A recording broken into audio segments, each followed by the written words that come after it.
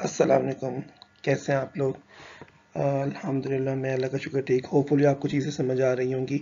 ये जो आज हमने लेक्चर में करना है, वो है effective communication seven Cs what are the seven Cs of effective communication communication तो हम जानते हैं कि कम्युनिकेशन किसे कहते हैं। कम्युनिकेशन कहते हैं it is the exchange of words information ideas ये जो आप दो या दो से ज़्यादा लोग वर्ड्स आइडियाज़ इंफॉर्मेशन को एक्सचेंज करते हैं ना, इसको कहते हैं कम्युनिकेशन हम उसके सेवन सीज पढ़ेंगे कि वो सेवन सीज कौन से होते हैं, जिनकी वजह से आपकी कम्युनिकेशन बहुत ज़्यादा इफ़ेक्टिव हो जाए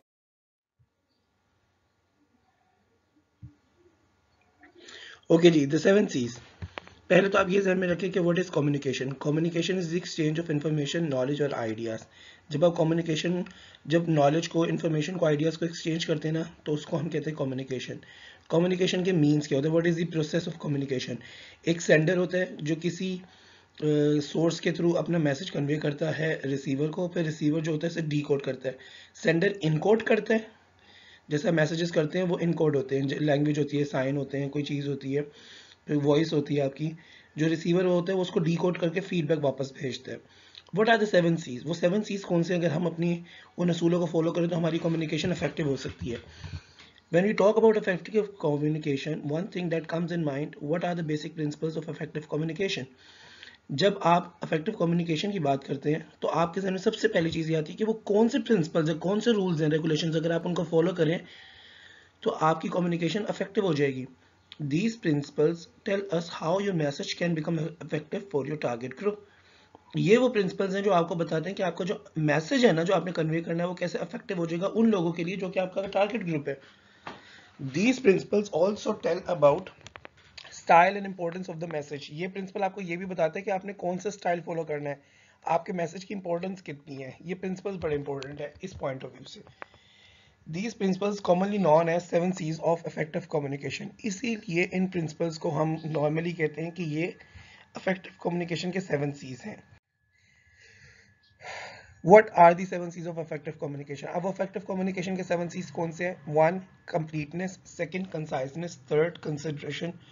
Fourth, concreteness. Fifth, clarity. Sixth, courtesy. And seven, correctness. अब ये seven C's हमने जहन में रखने ओके okay जी ये देखिएगा जी फ़र्स्ट वन है जी completeness message receiver either listener और reader desire complete information to the question बात ये कि पहली चीज़ है कि कंप्लीटनेस होनी चाहिए आपने जो मैसेज दिया ना वो रिसीवर चाहे रीडर हो रीडर भी तो आपका मैसेज रिसीवर है ना चाहे लिस्टर हो, उसको इन्फॉर्मेशन कंप्लीट चाहिए। अगर इन्फॉर्मेशन आपकी कंप्लीट नहीं है ना तो उसको फिर क्या कहते हैं, वो एग्जाइटी फील करेगा और वो डिसइंटरेस्टेड हो जाएगा आपकी इन्फॉर्मेशन में। Suppose you are working with multinational company who is engage with engineering goods like A C now let say one of your major customer wants some technical information regarding thermostat because he wants to convey the same to the end users अच्छा अब हुआ क्या? आप देखिए, आप एक company में काम करते हैं जो कि इंजीनियरिंग गुड्स मल्टीनेशनल कंपनी ये चीज़ें बनाती है इलेक्ट्रॉनिक्स की। एक कस्टमर ने बाकी लोगों को अपने थर्मोस्टेट के बारे में बताना है तो उसने आपसे पूछा है थर्मोस्टेट के बारे में। In this case you have to provide him complete information in short spat of in span of time if possible provide him some extra information which he does not know in this way you can maintain a good business relation with him otherwise he may switch to another company आपने उसको थोड़ी देर के अंदर जितनी information जो एक तो essential information है, वो आपने बेसिक इन्फॉर्मेशन देनी है। कि थर्मोस्टैट जो है वो वर्क कैसे करता है, उसकी ड्यूरेबिलिटी कितनी है गारंटी कितनी है साइजेस शेप्स कलर्स क्योंकि कस्टमर्स इनमें भी इंटरेस्टेड होते हैं। उसके अलावा अगर कोई एक्स्ट्रा इन्फॉर्मेशन आपके पास तो आपने वो भी उसको प्रोवाइड करनी है। एक्स्ट्रा इन्फॉर्मेशन देना भी आपका काम है। इन केस अगर आप उसे प्रोवाइड कर देते वो आपका कस्टमर बन जाएगा वो मजीद कस्टमर लेकर आएगा। लेकिन अगर आप उसे वो इन्फॉर्मेशन नहीं टाइमली प्रोवाइड करते और वो अनइंटरेस्टेड हो जाता है he will go to another company and then he will buy it from there वो फिर वहाँ से ले खरीद लेगा। फाइव डब्ल्यूज अच्छा अब ये फाइव डब्ल्यूज हैं। अपने मैसेज uh, को कंप्लीट करने के लिए फाइव डब्ल्यूज है। वो कौन कौन से हैं? One way to make your message complete is to answer five डब्ल्यूज एक वो तरीका जिससे आप अपने फाइव डब्ल्यूज को सॉरी अपने मैसेज को कंप्लीट कर सकते हैं वो ये फाइव डब्ल्यूज हैं. Who what when where why किसी भी चीज़ के बारे में आप ये फाइव इंफॉर्मेशन निकाल के रख लें. हु किसने वो चीज़ बनाई? व्हाट किस लिए बनाई? व्हेन कब वेयर कहाँ वाई क्यों? क्यों what is the purpose of that thing The five question method is useful when you write request, announcements or other information messages, informative messages. जब भी आप किसी को इन्फॉर्मेशन प्रोवाइड करें ना तो ये फाइव डब्ल्यू का अगर मेथड आप यूज़ करें ना तो that is that is going to be very effective for you for instance to order request merchandise make clear what you want when you need it is to be send आपको merchandise मतलब आपको goods वगैरह मंगवाना चाह रहे हैं तो आप बहुत क्लियरली अपने ऑर्डर में लिखे वट क्या चीज़ चाहिए, कौन सी गुड चाहिए, कब चाहिए और कहाँ चाहिए। तो ये फाइव डब्ल्यूज अगर आपने प्रिपेयर किया नॉर्मल ज़िंदगी में अगर इंसान किसी चीज़ के बारे में फाइव डब्ल्यूज प्रिपेयर कर लेना तो कहते हैं ना रेडी मैन बन जाता है कि उसके माइंड में बड़ा क्लियर होता है कि कोई से कोई क्वेश्चन कर ले तो फॉरन आंसर कर देता है Conclusion of completeness. At the end, we can say that you must provide him all necessary information as requested by him, answer to all his questions carefully, provide some more information which he is not requiring just to maintain good relations. आप देखें ना ये customers जो dealing होती है उसके अंदर वो किस तरीके से इंफॉर्मेशन इम्पार्ट करते हैं सूट के बारे में जो लेडी सूट के बारे में बता रहे होते हैं एक तो आप पूरी इन्फॉर्मेशन दें उसके जितने सवाल है ना, आपने इरिटेट नहीं होना, हर एक की इन्फॉर्मेशन देंगे। फिर कोई एक्स्ट्रा इन्फॉर्मेशन जो आपको मालूम है, उसको नहीं पता। एक खास क्वालिटी है, वो भी आप उसको बताएँ। उसके साथ अच्छे लेवल लेवल पे कॉन्टेक्ट जो है ना, वो बनाने की कोशिश करें। Second one is conciseness conciseness means convey the message by using fewest words concise का मतलब ये होता है short conciseness is the prerequisite to effective business communication as you know that all business have very short time a concise message save the time and expense for both the parties. ये बड़ा important है। आपने देखा ये जो words आप लोगों ने निकाल दिए हैं, अस्सलाम की जगह ए ओ ए क्यों निकालें? इसीलिए क्योंकि आज के दौर के अंदर कंसाइजनेस बहुत मैटर करती है। बिज़नेस में, आपकी डीलिंग्स में, इवन हमारे जो इनफॉर्मल रिलेशन हैं, जो पहले बड़े गैर रस्मी बड़ी बातें होती थी, उसमें भी हम कम से कम लफ्ज़ यूज़ करना पसंद करते हैं। मेरा अपना पर्सनल ये है मसला कि मुझे बहुत ज़्यादा देर तक मैसेजेस वगैरह पे बात नहीं होती। और थोड़ा बहुत छेड़छाड़ कर लिया और थोड़ा फिर निकल गए। ठीक है?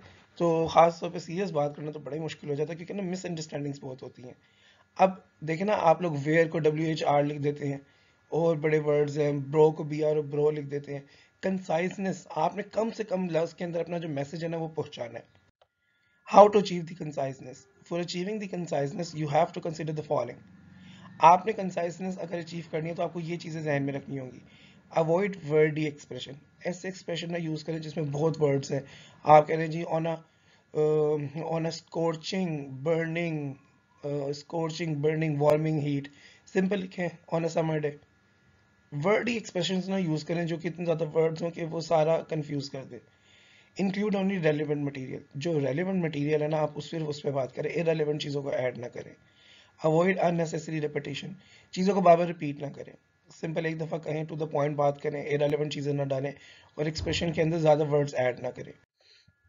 Avoid wordy expression. That at this time. Instead of at this time you can just only uh, you can use only a concise word now. आप देखें ना wordy expression at this time की जगह आप सिंपल लिखे ना always try to use to the point approach in business scenario perspective आप simple वो बात करें जो आपने बात करनी है. टू द पॉइंट बात करें. बात को तूल ना दें. लटकाए ना। Include only relevant information. Always try to provide only relevant information to the receiver of the message. जो बात करनी है ना अपने मैसेज में सिर्फ वो बात करें Let's say one of your customer requested four clients of the company. In reply, you should provide you should provide simply list of clients at the panel of your company. no need to provide detail business information about client at all अच्छा अब ऐसा हुआ कि customer ने आपसे request किया कि बताएँ कि क्लाइंट के बारे में बताएँ अपने जो कंपनी के हैं। आपने रिप्लाई में सिर्फ़ लिस्ट में बताना है कि ये क्लाइंट्स हैं। कोई ज़रूरत नहीं है कि उनकी डिटेल बिज़नेस इन्फॉर्मेशन भी आप देना शुरू कर दें। Observe the following suggestion to include only relevant information आप ये चीज़ अगर फॉलो कर लेंगे ना जो नीचे दी गई हैं तो आप, क्या कहते हैं रेलिवेंट इन्फॉर्मेशन ऑटोमेटिकली ऐड हो जाएगी। Stick to the purpose of the message आप ये देखिए आपके मैसेज का पर्पज क्या है? ठीक है, आपने बच्चों से बात करनी है फेरी टेल्स के ऊपर, और आप बच्चों को साइंटिफिक इन्फॉर्मेशन बता रहे हैं तो बच्चों को नहीं समझ आएगी। पर्पस पे रहें, जो पर्पस है मैसेज का, वो कन्वे करें। डिलीट इरेलीवेंट वर्ड्स जो इरेलीवेंट वर्ड्स भी है ना, वो डिलीट कर दें। Avoid long introduction and necessary explanation अब देखिए ना बिला वजह इंट्रोडक्शन देना इरेलीवेंट इन्फॉर्मेशन ऐड करना, उसको खत्म करें। मैंने आप लोगों को बताया भी था कि आप लोगों ने जो क्वेश्चंस करने हैं, वो इतने वर्ड्स में लाइंस में लिखने हैं। उसके बावजूद कुछ लोगों ने थोड़ा धर डेफिनेशंस लिखी हुई हैं स्किमिंग स्कैनिंग और इन चीज़ों की।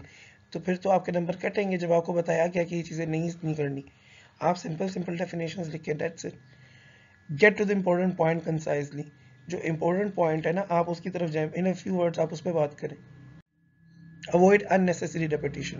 Sometimes repetition is necessary for focusing some special issue. अच्छा बाज वक्त आपको repetition करनी होती है, ताकि कोई एक आइडिया जो है वो आप किसी के जहन में डाल दे। फॉर एग्ज़ाम्पल टीचर बार बार पॉइंट्स को रिपीट करते हैं। उसकी वजह यही होती है कि उनके स्टूडेंट्स के जहन में वो पॉइंट्स रह जाए। ठीक है, लेकिन आपने अननेसेसरी रेपिटेशन नहीं करनी। But when the same thing is said without two or three reason the message becomes wordy and boring अगर एक ही चीज़ को आप बार बार कह रहे हैं ना, और क्या कहते हैं is without two or three reason आप रीजन दे चुके हैं, उसको बार बार कही जा रहे हैं तो उसकी तो बोरिंग हो जाएगा राइटिंग डाल हो जाएगी, फिर वो इंटरेस्ट लूज हो जाएगा। That's why try to avoid unnecessary repetition unnecessary repetition नहीं होनी चाहिए। रेपिटेशन में इशू नहीं है, लेकिन अननेसेसरी जिस चीज़ की ज़रूरत नहीं है, आप उसको बार बार रिपीट करे जा रहे हो तो यहाँ पे इशू हो सकता है। Some ways to eliminate unnecessary words कोई तरीका is there any way to avoid these unnecessary words yes use shorter name after you have mention the long ones अगर आपने कहीं लॉन्ग हम जैसे लेजर के बारे में बात करते थे ना तो शुरू में लेजर का नाम हम पूरा देते थे। Light amplification stimulated by emission of radiation लेकिन उसके आगे हम लेजर का शॉर्ट वर्ड यूज़ करते थे। अननेसेसरी वर्ड्स को आपने इस तरीके से करना है कि जो लॉन्ग वर्ड्स आपने शुरू में यूज़ करते हैं, बाद में उनका शॉर्ट यूज़ करें। जैसे ऊपर लिखे स्पेक्ट्रम कम्युनिकेशन प्राइवेट लिमिटेड इसका आप सिंपल स्पेक्ट्रम कर लें, ठीक है? हम फैमिली नेम्स भी करते हैं ना, पूरे सर जॉन रिवर्स उसके बाद आके सर रिवर कर लेते हैं। यूज़ प्रोनाउंस और इनिशियल्स आप वर्ड्स के बाद ना उनके इनिशियल्स और प्रोनाउंस यूज़ करें. For example instead of world trade organization use WTO or you can use IT for information technology. Keeping in views that receiver knows about these terms. अच्छा ये जहन में रखना है कि रिसीवर्स को इन एब्रीवेशंस का पता हो. नॉर्मली ये इंटरनेशनल यूज़ होने वाले क्या कहते हैं एब्रीवेशंस हैं और हर कोई जानता है. कहने का मकसद ये है कि जब आपने वर्डिंग यूज़ करनी है तो आपने जितने भी अननेसेसरी वर्ड्स वगैरह है ना आपने उनको एलिमिनेट कर देना, आपने उनको यूज़ नहीं करना। Third one is consideration. Consideration means to consider the receiver's interest or intention. आपने ये कंसिडर करना है कि रिसीवर के इंटरेस्ट क्या है, उसके इंटेंशन क्या है। देखे ना, बच्चे नॉर्मली बच्चे जो होते हैं वो पॉलिटिक्स में इंटरेस्टेड नहीं होते। आप छोटे बच्चों से बात करने जा रहे हैं, आप उनसे पॉलिटिक्स पे बात करें, उनको नहीं समझ आएगी क्योंकि they are not interested it is very important in effective communication while writing a message you should always keep in mind your target group देखिए इफ़ेक्टिव कम्युनिकेशन के लिए बहुत इंपॉर्टेंट है कि कंसिडर किया जाए आपकी टारगेट ऑडियंस कौन सी है। ऑडियंस क्या चाहती है? आप ऑडियंस से क्या बात करते हैं? अब हमारे जो चैनल्स के इतने ज़्यादा इश्यूज़ हैं, वो क्यों हैं? क्योंकि हमारे चैनल्स वो नहीं दिखाते जो इनका काम है। चैनल्स का काम है कि बुराइयों को निकाल के दिखाएँ कि ये गलत है। इससे बचे, हमारे चैनल्स वो दिखाते हैं जो पब्लिक डिमांड है। सिर्फ़ इसलिए पब्लिक डिमांड की वजह से दिखाते हैं, सिर्फ़ इसलिए क्योंकि उनको पैसा कमाना है, आर आनी चाहिए। सॉरी टी आर आनी चाहिए। Consideration is very important C among all seven Cs consideration सारे सीज में बहुत इंपॉर्टेंट है। देखिए ना बड़ा क्लियर है। अब मुझे पॉलिटिक्स में बहुत इंटरेस्ट है, ठीक है? लेकिन कुछ टॉपिक जैसे फ़ैशन और ये चीज़ें मुझे नहीं, बिल्कुल ही इंटरेस्ट नहीं, ना मुझे समझ आती हैं चीज़ें। अब मेरे से कोई बंदा फ़ैशन पे आके बात करेगा तो after five minutes I tend to be bored in uninterested और मैं कोशिश करूँगा कि गुफ्तु का रुख चेंज कर दूँ। और जो मैसेज मुझे कन्वे करना चाह रहा है ना, वो मुझे कन्वे नहीं कर पाएगा।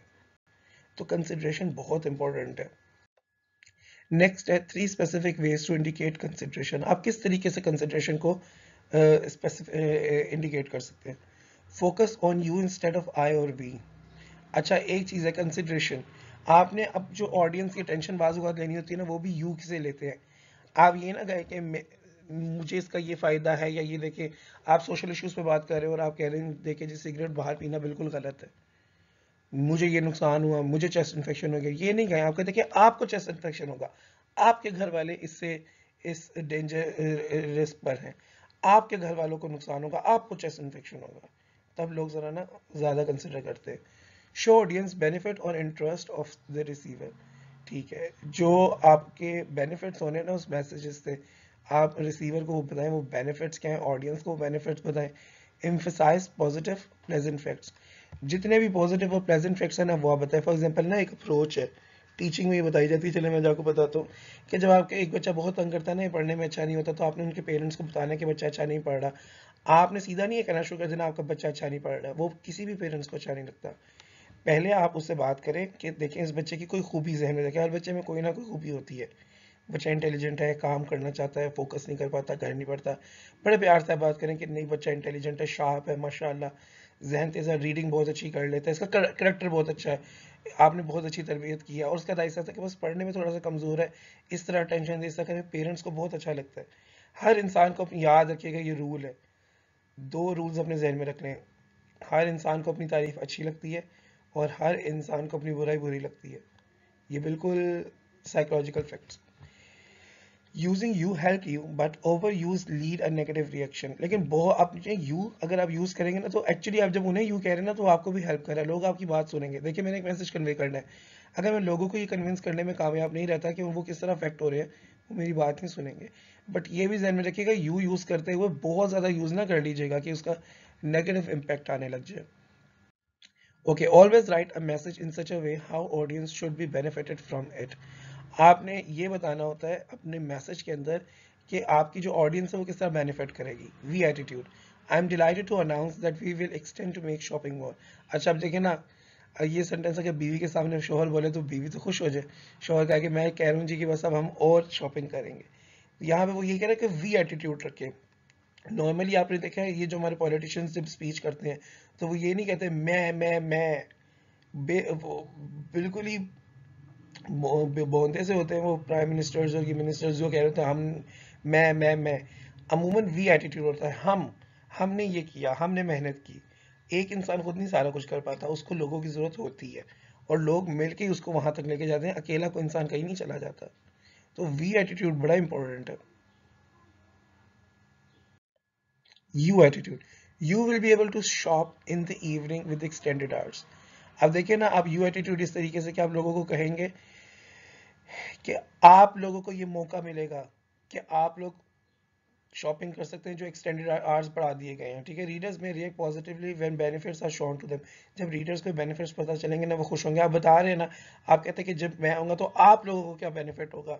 आप लोगों को पाँच लाख पाँच करोड़ नौकरियाँ मिलेंगी, पाँच लाख घर बना दूँगा। ये यू एटीट्यूड है। आपने ऐसे यू करके उनको सुहाने ख्वाब दिखाए कि उनको लगा कि हमें तो पॉजिटिव बेनिफिट्स ही बहुत ज़्यादा होने अगर ये आ गए तो always try to address his or her need and want हमेशा वो बात करें जो लोगों की ज़रूरियात हैं। ठीक है? अब ये भी एक बहुत बड़ा इशू है। हमारे यहाँ लोगों की ज़रूरियात की बात होती नहीं लोग क्या चाहते हैं ये बात नहीं होती। हमारे यहाँ तो बस लोगों को ख्वाब दिखाए जाते हैं। असल चीज़ ये कि लोगों को खुद भी अंदाज़ा नहीं है कि वो क्या चाहते हैं, लोगों के क्या बेनिफिट्स हैं। Okay always show right to reader आपने हमेशा रीडर को ये दिखाना है, लिख के बताना है what has been done so far as his or her query is concern कि अभी तक क्या क्या उसकी जो क्वेरी थी, जो उसकी कंप्लेन थी रिक्वेस्ट थी उस पर क्या क्या उसको है? अच्छा ये मेरा भी एक दोस्त बताया था कि कंपैरिजन हुआ था शहबाज शरीफ की पहली छः महीनों की ट्वीट्स का, जिसमें शहबाज शरीफ ये बता रहा था कि छः महीने के उसने ट्वीट्स में सिर्फ़ यही लिखा, वो यही बताता था छः महीने की। आगे का भी, अभी भी वो बताया था कि आप करके ट्वीट देख लें तो वो कंपैरिजन में यही है कि शहबाज शरीफ की जितनी भी ट्वीट्स है ना, उसमें शहबाज शरीफ ये बता रहा है, हमने ये किया। सॉरी हमने ये हॉस्पिटल ओपन किया या हमने ये काम किया हम ये बना रहे हैं हम ये कर रहे हैं हमारी आ, हमारी गवर्नमेंट अब ये कर रही है। सारा ये अचीवमेंट्स वगैरह बताई जा रही हैं उसमें ठीक है? जैसे लोगों को बेनिफिट हो रही है जो उनकी कंप्लेंट्स है वो सॉल्व हो रही है। और वो कह रहा था कि छः महीने के उस्मान बुजार की ट्वीट्स निकाली तो सब में यही था। पिछले हुकूमतों ने ये किया हम ये करने का सोच रहे हैं हमने भी कोई अचीवमेंट की बात नहीं कोई कुछ किया ही नहीं उन्होंने। तो वो ये बताया था कि ये बड़ा एक शॉकिंग फैक्ट था कि आप देखिए शहबाज शरीफ बड़ा अच्छा इस पॉइंट ऑफ़ व्यू से जा रहा था कि उसकी अचीवमेंट्स थी। और वो ये नहीं कहता था कि पिछली हुकूमतों ने ये किया, पिछली हुकूमतों ने ये किया। इवन अब तो पीटीआई के अपने लोगों ने देखा नाइन्टी परसेंट अब शुरू हो गए वो कहना कि यार पिछले हुकूमतों ने जो किया किया, महँगाई तो कंट्रोल कर लो ना। आपसे तो वो भी कंट्रोल नहीं हो रही है। And always avoid that his her need and wants okay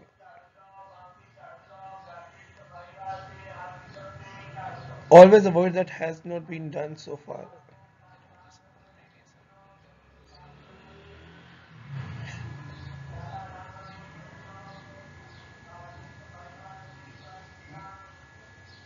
And always avoid that his or her needs and wants आप हमेशा उनको ये बताते हैं अच्छा ये शायद उल्टा लिख दिए आपने उसको ये राइट करना रीडर को बताना कि क्या उसकी नीड्स और वांट्स है और क्या हो गया। अच्छा हाँ जब आप ये बता रहे हैं ना कि क्वेरीज क्या हैं, उनके ऊपर अब तक क्या हो गया है तो नीड्स वगैरह को आप थोड़ी देर, कुछ देर अवॉइड करते हैं, जब तक आप, अगर कोई चीज़ आपने नहीं हासिल की, कोई चीज़ नहीं अचीव कर सके तो आप अवॉइड कर सकते हैं। Always avoid that has not been done so far हाँ एग्जैक्टली ये पॉइंट था। उन चीज़ों को अवॉइड करें डिस्कस करना जो अभी नहीं हुआ। जब वो हो जाएगा तब फिर आप उनको डिस्कस कर लीजिएगा। देखिए सिंपल सी बात है। एक चीज़ अभी आपने की नहीं आप उसके बारे में डिस्कस कर रहे हैं उसका फ़ायदा क्या? जब कर लेंगे तो फिर डिस्कस कर लीजिएगा। Mm, Fourth one is con uh, concreteness. It means that message should be specific instead of general. Misunderstanding of words creates problems for both parties, sender and receiver. आपका मैसेज जो होता है ना वो बिल्कुल स्पेसिफिक होना चाहिए जनरल नहीं होना चाहिए। जनरल बातें करी जाएँगे ना लोग आपसे पूछेंगे बताओ मेरा बच्चा कहाँ है? किसी का बच्चा घूम के औरत आपसे पूछने आएगी और आप उससे बात करें, इन झाड़ियों में बड़े ही बच्चे फिरते हैं, उन बच्चों, वो बच्चे यहाँ पे खेल रहे होते हैं। आप सीधा सीधा बताएँ, आपने उसका बच्चा घुमा हुआ बच्चा देखा है, नहीं देखा? तो यहाँ ग्राउंड में बहुत से बच्चे खेलने आए होते हैं तो सारे बच्चे खेल रहे होते हैं, मेरे सामने भी बड़े बच्चे खेल रहे थे। इस तरह करके आपके बच्चे ने कौन से रंग के कपड़े पहने हुए थे? इस तरह नहीं। देखिए, आपका जो मैसेज है ना, वो बड़ा क्लियर होना चाहिए, स्पेसिफिक होना चाहिए, जो इन्फॉर्मेशन आपको चाहिए। जैसे आप आपको इन्फॉर्मेशन चाहिए कि स्टोरी बुक्स बच्चों के लिए कैसे लिखी जाती हैं। आप उसमें डायरेक्ट उस सिंपल मैसेज में ये पूछे जो आपका पर्पज़ है। अदरवाइज़ क्या होगा सेंडर रिसीवर दोनों के लिए बहुत ज़्यादा क्या कहते हैं प्रॉब्लम्स क्रिएट हो जाएँगी कन्फ्यूज़न होंगी। When you talk to your client, always use facts and figures instead of generic or irrelevant information irrelevant information ना बताएँ फैक्ट्स और फिगर्स बताएँ, उसकी क्वालिटीज़ बताएँ, specifications बताएँ। फॉर example, जब हम लैपटॉप लेने जाते हैं, हम देखते हैं ना कि आई सेवन क्या है, उसकी रैम क्या है रैम क्या है, उसके अंदर कितनी हार्ड डिस्क है, ये सारी चीज़ें हैं। These are facts and figures. हम ये नहीं पूछते कि खूबसूरत कितना है, देखने में कैसा है, भारी कितना है, हल्का कितना है, ये चीज़ें नहीं देखी जाती। तो इन्हीं चीज़ों का ख्याल रखें नेक्स्ट है the following guidelines should help you to achieve the concreteness आप कंक्रीटनेस किससे अचीव कर सकते हैं? Use specific facts and figures concrete concreteness का मतलब होता है सॉलिड करना। अपनी बात को सॉलिड करने के लिए आप स्पेसिफिक फैक्ट्स यूज़ करें। जो बात आर्ग्यूमेंट से की जाए ना वो लोग पसंद करते हैं। चूज़ इमेज बिल्डिंग वर्ड्स ऐसे वर्ड्स यूज़ करें जो कि इमेजेस बनाए। जैसे कि जनरली ये देखें is very intelligent student of class and stood first in class आप इमेज बिल्डिंग कर रहे हैं ना यहाँ पर, आप उसके लिए यूज़ करें कि वो बच्चा बड़ा इंटेलिजेंट है। तो इमेज बिल्डिंग वर्ड्स यूज़ करें जो इमेज बिल्डिंग करें। जैसे concrete Ali's GP and BSc electrical engineering 2K3 session was 3.954 out of 4 he stood first in his class अब यहाँ पे कंक्रीट आपने किस तरीके से किया कि आपने ये बताया अली का जीपीए कितना है?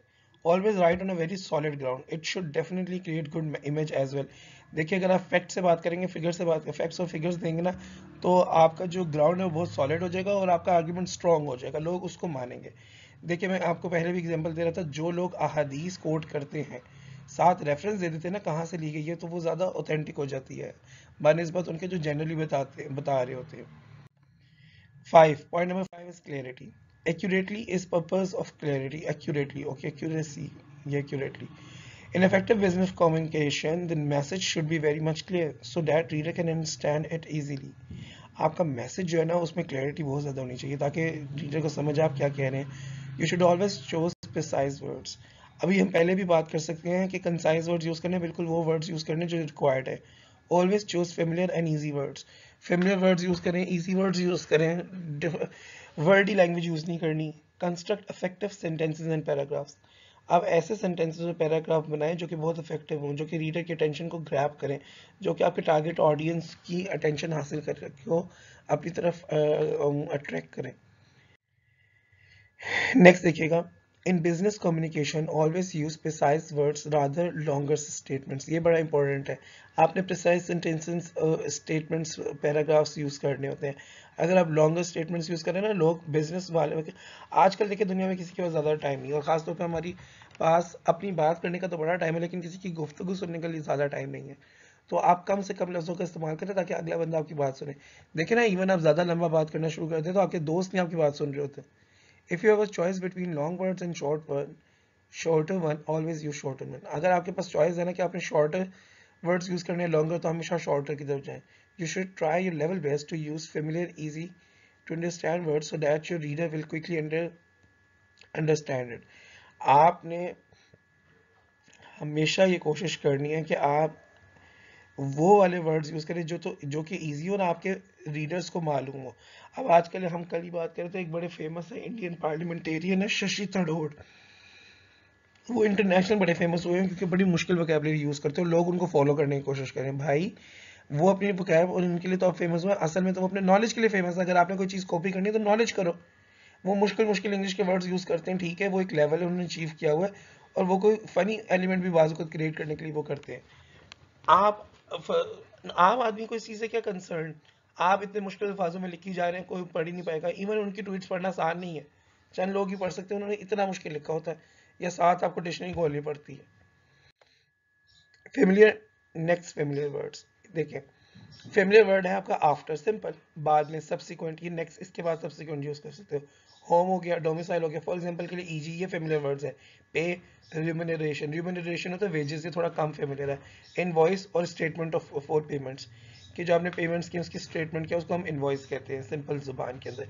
तो आप कोशिश करें ऐसे फेमिलियर वर्ड्स यूज़ करें जो कि आम, जो पब्लिक है, वो जानती है, ताकि वो उनको समझ आए। एक बात आपने नोट की होगी ना, बहुत से बच्चों से जब कहा जाता है रीडिंग करें, वो क्यों नहीं करते? वो कहते सर, हम इन वर्ड्स के, बहुत से वर्ड्स के मीनिंग ही नहीं आते। जब हम पढ़ना शुरू करते हैं, हम बीच में भूल जाते हैं, हम नहीं पढ़ पाते। तो हमें मसला होता है, सॉरी, हम बीच में रिदम टूट जाते हैं, जब बार बार हम मीनिंग्स चेक कर रहे होते हैं मीनिंग्स ढूंढते हैं। तो इसलिए फिर बहुत से लोग पढ़ते ही नहीं है। तो आप फेमिलियर वर्ड्स यूज़ करें, ऐसे वर्ड्स जो आम लोगों को समझ आए। कर्टिसी कर्टिसी ज़िंदगी में बड़ी इंपॉर्टेंट है। कर्टिसी के मतलब होता है शाइस्तगी आपके सिविलाइज मैनर्स अच्छा अंदाज। देखिए ना, हमें सबसे अच्छे वो लोग लगते हैं जिनके अखलाक अच्छे हैं। हमें मौलाना साकिब रजा मुस्तफ़ी, मौलाना तारिक जमील हमें क्यों अच्छे लगते हैं? हमें ये कारी खलील से ये हुसैन नकवी क्यों अच्छे लगते हैं? क्योंकि इनके अखलाक अच्छे हैं? ये इखलाक पे बात करते हैं। ये इख्तलाफ पे भी बड़े इखलाक के साथ इख्तलाफ करते हैं। तो इखलाक आपका बड़ा इंपॉर्टेंट है। यही आपकी राइटिंग में भी नज़र आना चाहिए, यही आपके मैसेज में नज़र आना चाहिए। Knowing your audience allows you to use statements statements of courtesy. Be aware of your message receiver. देखिए, अगर आपको अपनी ऑडियंस का मालूम है ना तो आपको ये भी पता होगा कि आपने उनसे किस तरीके से बिहेव करना है। तो आप ये जहन में रखिए, आप किसको मैसेज रिसीव होना है। छोटे बच्चों से आप जितना प्यार से बात करेंगे ना, उतना अच्छा है। आपने देखा है, छोटे बच्चों को टीच करने में लड़कियाँ बहुत अच्छी हैं।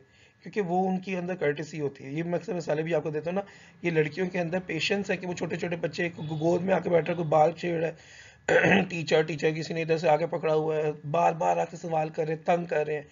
वो टीचर्स आराम से सब्र था उनसे सबसे प्यार करती हूँ बच्चे दीवाने होते हैं। यही अगर लड़के पढ़ा रहे होते तो आप देखते कोई किसी की कभी हड्डी टूटी हुई है बच्चे की।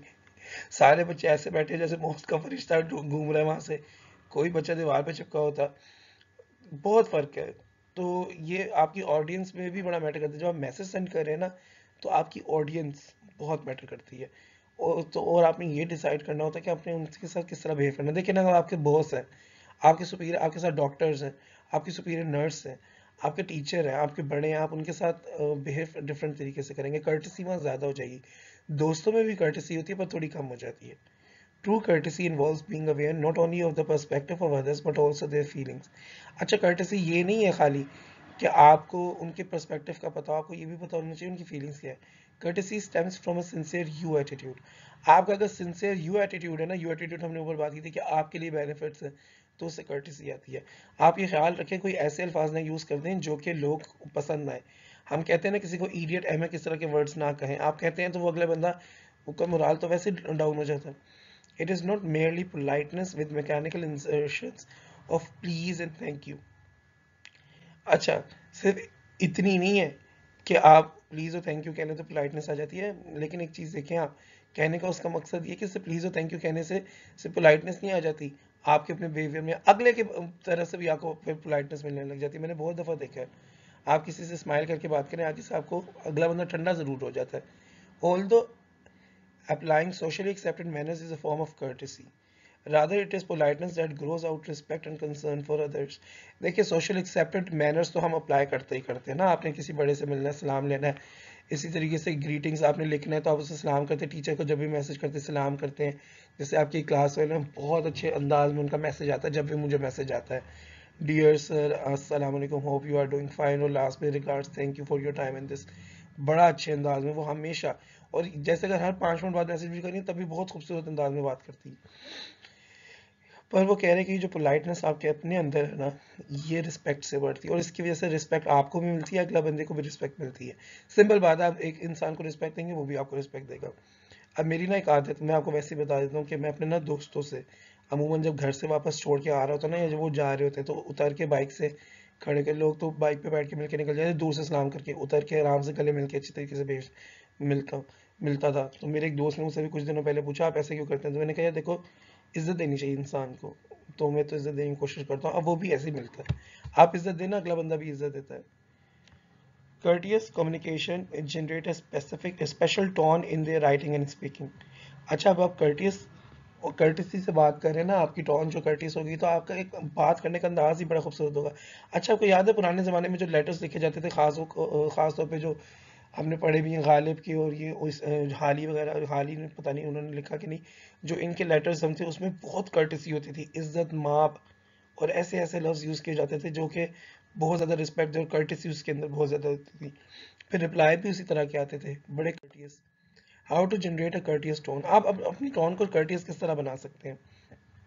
The following are suggestions for generating a courteous tone इस तरह की चीज़ें अगर आप ऐड कर लेना तो आपकी टोन कर्टियस हो जाएगी। Be sincerely tactful thoughtful and appreciative देखें, आपने टेक्टफुल होना, सोच समझ के लफ्ज़ यूज़ करने हैं, कोई गलत लफ्ज़ यूज़ ना कर दें। थॉटफुल एंड अप्रिशिएटिव अगले बंदे को ना अप्रिशिएट करें और सोच समझ के बात करें। Use expression that show respect for the others ऐसे एक्सप्रेशन शो करें जो दूसरे को इज़्ज़त दें। चोज नॉन डिस्क्रिमिनेटरी एक्सप्रेशन ऐसे एक्सप्रेशन यूज़ नहीं करने आपने जो कि डिस्क्रिमिनेट कर हो लोगों को, ठीक है? ऐसे एक्सप्रेशन यूज़ करें जो कि दूसरों को आपसे डिफरेंट ना करें। Be sincerely tactful thoughtful and appreciative ये किस तरीके से आप होंगे? Though few people are intentionally abrupt these negative traits are common cause of discourtesy ये जो मुँह फट लोग होते हैं ना, इस तरह ना बात किया करें। मुँह फट होने के सच तो बेशक बोलते हैं, लेकिन वो इतने डिस्कर्टियस वे में बोलते हैं कि वो लोगों को सच भी पसंद नहीं आता। Avoid expressions like those in the left hand column below. Rephrase them as shown in the right hand column. अब उसने आपको लेफ़्ट हैंड साइड पे भी एक कॉलम में दिखाया एक्सप्रेशन और दिखाया कि आप इन्हें किस तरीके से थॉटफुल थॉटफुल और अप्रिशिएटिव होकर यूज़ कर सकते हैं। ये देखिएगा जी टेकलेस और ब्लंट एकदम आप बोलते स्टूपिड लेटर कांट अंडरस्टैंड आपने सीधे उसको कह दिया कि कितना बकवास लेटर है तुम्हारा। आप इसे ये कर सकते हैं tactful I should understand it as there is no confusing words in this letter could you please it explain it once again देखिए, उसकी गलती है, कुछ नहीं होता। लाजमी थोड़ी है, हर दफ़ा गलती का एहसास दिखाएँ। कुछ जगहों पर गलती का एहसास दिखाना ज़रूरी है। यहाँ पे आप ये करें कि आप उसे बड़े तरीके से कहें कि मुझे समझ नहीं आई काइंडली आप रिपीट कर देंगे।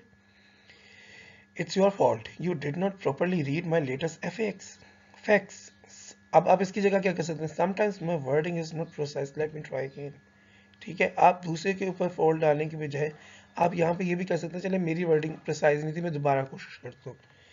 Thoughtfulness and appreciation writers who send cordial courteous messages of deserved uh, congratulations and appreciation for a person inside doubts help to build goodwill देखें ना जो लोग आपको अप्रिशिएट करते हैं उनके वो आपको वैसे बड़े पसंद आते हैं तो आपने अगर अपनी गुडविल बनानी है अच्छा इमेज बनाना है तो आप लोगों से कर्टियस होकर बात करें और देखिए जी ये कोई प्लान काम नहीं होना चाहिए आपका बिहेवियर हर एक ही अच्छा होना है हर एक के साथ अच्छा होना चाहिए द वैल्यू ऑफ़ गुडविल और public esteem for the firm may be worth thousand of dollars अगर आपकी, देखें ना, एक आप देखें, आप एक ही दूध वाले से दूध क्यों लेते हैं?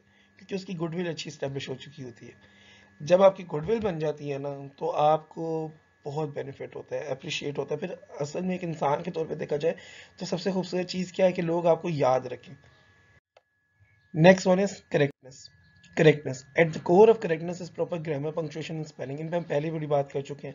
कि करेक्टनेस में बड़ा इंपॉर्टेंट है कि आपकी स्पेलिंग पंचुएशन ग्रामर ये सारी चीज़ें ठीक हों।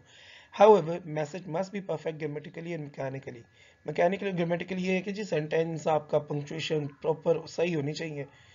The term correctness as applied to business message also mean three characteristics आपकी करेक्टनेस ये जो टर्म है ना करेक्टर करेक्टनेस इसका मतलब ये भी है use the right level of language कि सही लैंग्वेज यूज़ करें। Check the accuracy of figures specs and words आप जो भी फैक्ट्स एंड फिगर्स कोड करें ना उनकी एक्यूरेसी को चेक करें। Maintain acceptable writing in mechanics आप ऐसी राइटिंग मेंटेन करें जो कि एक्सेप्टेबल हो और उसके मैकेनिक्स को फॉलो करें। एक्सेप्टेबल से मुराद राइटिंग का ये है कि आप प्रॉपर स्ट्रक्चर फॉलो करें स्टैंडर्ड स्ट्रक्चर जो उसको फॉलो करें। पैरलिज्म होना चाहिए एक्टिव वगैरह आप यूज़ करें तो सही वर्ड्स वगैरह यूज़ होने चाहिए। Use a right level of language we suggest that there are three levels of language language तीन किस्म की होगी। फॉर्मल एक रस्मी, जैसे अब्बू के साथ आप, पापा जी के साथ बात कर रहे हैं, अब्बा जी के साथ। इनफॉर्मल दोस्तों के साथ बात कर रहे हैं। इनफॉर्मल होता है गैर रस्मी सब स्टैंडर्ड सब स्टैंडर्ड होते हैं बिल्कुल घटिया बाजारी ज़ुबान, जहाँ पे लोग बैठ के गालियाँ निकाल रहे होते हैं। Take a quick guess. What kind of writing is associated with each level? What is the style of each? देखिए, आपको वह खुद ही अंदाज़ा हो जाता है। फॉर्मल लैंग्वेज में आप वर्ड्स बड़े प्रिसाइज कंसाइज यूज़ करते हैं। अब्बा जी के सामने तो वैसे ही अल्फाज नहीं निकल रहे होते प्रिसाइज वर्ड्स यूज़ करते हैं और वो बात करते हैं to the point message convey करना है बस। इनफॉर्मल में आप रेलिवेंट इन्फॉर्मेशन भी ऐड कर लेते हैं इनफॉर्मल एक्सप्रेशन होते हैं डूड ब्रो व्हाट्सएप ये भी यूज़ कर लेते हैं। सब स्टैंडर्ड में आप किसी भी चीज़ का ख्याल नहीं करते। अच्छा इनफॉर्मल में फिर भी आप बार बार घूम के अपने पॉइंट पे मैसेज पे बात कर रहे होते हैं।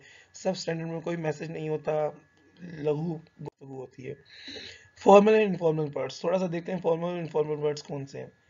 Formal writing is often associated with scholarly writing, doctoral dissertations, scholarly legal documents, top-level government agreements, and other material where formality is demanded. ये फॉर्मल राइटिंग्स होती हैं जिसमें आप फॉर्मली बात करते हैं जैसे डिजर्टेशन होते हैं रिसर्च आर्टिकल है गवर्नमेंट एग्रीमेंट्स है informal writing is more characteristics of business writing here you use words uh, that are short, well-known and conventional as in the comparison list. आप ये देख सकते हैं वर्ड्स आपके सामने। इनफॉर्मल के अंदर ना थोड़े से बिज़नेस राइटिंग में भी थोड़ी इनफॉर्मल होती है और आप थोड़ा सा शॉर्ट बात करते हैं वेल नॉन और कन्वर्सेशन स्टाइल होता है। देखिए मोर फॉर्मल क्या होगा? पार्टिसिपेट लेस फॉर्मल होगा ज्वाइन मोर फॉर्मल का इंडेवर इंडेवर है कोशिश करना। Less formal try ascertain find out utilise use ठीक है? इंटेरोगेट और क्वेश्चन आप देखें ये एक्सप्रेशन फॉर्मल ज़्यादा वो एक्सप्रेशन फॉर्मल कम है। सब स्टैंडर्ड लैंग्वेज कैसी होती है? Avoid substandard language. Using correct words, incorrect grammar, faulty pronunciation or suggest as inability to use good english. सब examples follow. देखिए, आपकी सब स्टैंडर्ड लैंग्वेज ये है कि आप बिल्कुल ग्रामर का ख्याल नहीं रख रहे पंक्चुएशन का ख्याल नहीं रख रहे, अपनी तरह से लफ्ज बनाई जा रहे। सब standards ain't. More acceptable isn't are not are not और इजेंट एक्सेप्टेबल है, लेकिन अब आप देखें ना, बोलने में भी उन लोगों का ये सब स्टैंडर्ड एंट ही यूज़ होता है। कांट हार्डली कैन हार्डली होता है। Aim to proving aim to proof देखो, ये बेसिकली ग्रामेटिकली रॉन्ग है। कांट हार्डली हो ही नहीं सकता। हार्डली का मतलब ही मुश्किल से है। तो उसमें आप नेगेटिव यूज़ कर ही नहीं सकते। नॉट आ ही नहीं सकता। तो ये कैन हार्डली हो सकता। कैन नॉट हार्डली नहीं हो सकता। फोर देखिएगा डिजरस टू डिजरस ऑफ़ होता है। टू नहीं होता। स्टोल्ड गलत है। ये वर्ड ही नहीं एग्जिस्ट करता है स्टोल्ड वर्ड है स्टॉलन तो ये होता है सब स्टैंडर्ड लैंग्वेज कि आप लैंग्वेज का यूज़ ही खराब कर दें। Facts and figures accuracy check accuracy of facts figures and words आप एक्यूरेसी चेक करें कि आपके फैक्ट्स फिगर्स जो हैं वो बिल्कुल ठीक है कि नहीं। It is impossible to convey meaning precisely through words from the head of the sender to receiver आप वर्ड से बिल्कुल प्रिसाइज मीनिंग जो आपने अपने जहन में सोचा हुआ ना वो नहीं डाल सकते रिसीवर के जहन में। Our goal is to be as precise as possible, which means checking and double checking and double checking to ensure that the figures, facts and words you are you use are correct. आप ये कर सकते हैं जो facts and figures आप use कर रहे हैं ना उनको बार बार चेक करें कि वो ठीक है कि नहीं। A good check of your data is to have another person read and comment on the validity of the material. इससे फ़ायदा ये होगा, अगला बंदा जो पढ़ेगा ना, वो आपके मटेरियल को वैलिडेट करेगा, वो उसमें नुक्स नहीं निकालेगा। Figures and facts verify your statistical data आपने कोई स्टेटिस्टिकल डाटा दिया ना कि इतने परसेंट लोग कहते हैं तो आप उसको पहले चेक कर लें। डबल चेक योर टोटल्स जो आपने टोटल किए, वो चेक कर लें। Avoid guessing at loss that have an impact on you the sender and your okay loss guess ना करें। लॉज जो अगर आप कोई यूज़ कर रहे हैं ना तो आप उस एज इट इज़ बताएँ जैसे वो हैं। Have someone else read your message if the topic involves data किसी और से कहेंगे आपका एक दफ़ा मैसेज पढ़ लें और फिर बताएँ कि कोई गलती तो नहीं। Determine whether effect has change over time ये भी चेक कर लें कि जो फैक्ट जिस पे आप बात करें, वो चेंज तो नहीं हो गया। बाजू का चेंज भी हो जाते हैं।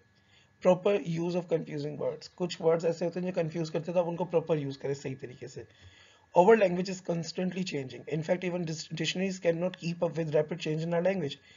The following words often confusing in usage. देखिए लैंग्वेज बार बार चेंज हो रही है नए से नए वर्ड्स आ रहे हैं तो कुछ वर्ड्स ना कंफ्यूजिंग हो सकते हैं जैसे और an use a before consonants and consonant sounds or a long u sound use n before vowels अब देखें आपको ये पता है कि आपको ये वर्ड्स जो है ना कंफ्यूज करते हैं एन यूज़ करते हैं वाउल साउंड से पहले और अ यूज़ करते हैं हम क्या कहते हैं कॉन्सोनेंट साउंड से पहले तो ये आपको पता होना चाहिए। फिर accept and except accept is a verb and means to receive except is a verb और proposition and relates to omitting और leaving out A double C P T accept जो है ना, इसका मतलब होता है कबूल करना। और A X C P T except होता है, इसका मतलब होता है सिवाय किसी चीज़ को निकाल देना। एक्सेप्ट जो होता है ना, पहला वाला वो वर्ब है, जो दूसरा वाला है, वो तो प्रपोजिशन है। अब ये देखिए एंक्शियस और eager anxious implies worry eager conveys keen desire anxious होता है, परेशान है. ईगर होता है कि आपकी कोई ख्वाहिश है। तो ये देखिए, ये कंफ्यूजिंग वर्ड्स है। दिस इज़ ऑल ये सारा था हमारा कम्युनिकेशन से रिलेटेड और क्या कहते हैं अफेक्टिव कम्युनिकेशन कैसे होती है, उसके अंदर सेवन सीज हैं, वो सेवन सीज कौन से हैं? तो होपफुली आपको आज का लेक्चर समझ आया होगा। अल्लाह ताला ने चाहा तो हमारी ज़िंदगी में फिर मुलाकात भी होगी। अपना ख्याल रखिएगा, कोई मसला हो तो ज़रूर पूछिएगा। होपफुली आपको लेक्चर समझ आ गया होगा। अल्लाह हाफिज़।